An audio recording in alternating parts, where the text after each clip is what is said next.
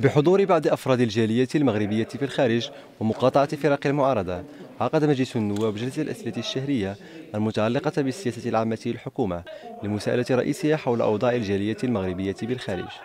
رئيس الحكومة أكد خلال الجلسة أن الحكومة تعمل بانتظام على تحسين وتطوير الخدمات الإدارية الموجهة للجالية المغربية داخل وخارج أرض الوطن. كيهمنا المواطن ملي يكون في الخارج يلقى يعني واحد الخدمة قنصلية يعني تاخذ بعين الاعتبار الظروف ديالو وتحاول تسهل له الأمور. كيهمنا المواطن ملي يوقع له مشكل ما يشعرش راسو بوحدو يشعر بلي بلادو كلها معاه.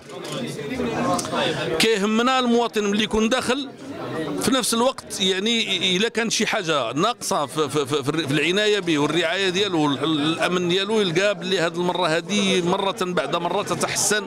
يعني الظروف. أنتم شتيو الأرقام اللي قلت فهمتيني؟ ولا اللي كتبين هذه العناية واللي واللي ما يمكن لها إلا تزيد وتستمر.